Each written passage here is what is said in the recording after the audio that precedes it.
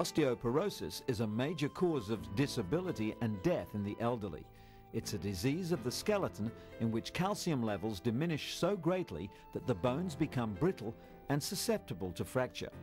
It's a condition that strikes without warning in the early phases until eventually bones are so weak that physical deformity sets in.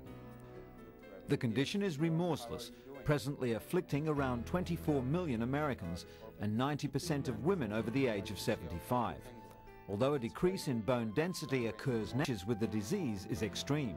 It's currently estimated that 1.5 million fractures are caused by osteoporosis in the United States each year and that up to 25% of these will cause death.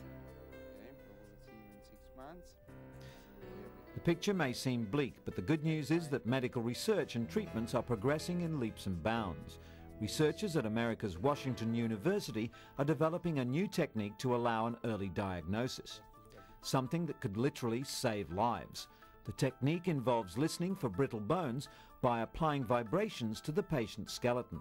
This prototype probe emits a subauditory frequency directly into the bone and picks up the sound waves displaying them on the computer screen.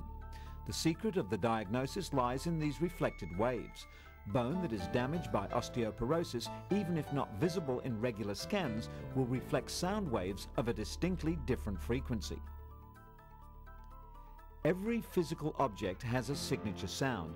Even this cup with a tiny fracture sounds entirely different to an unmarked one.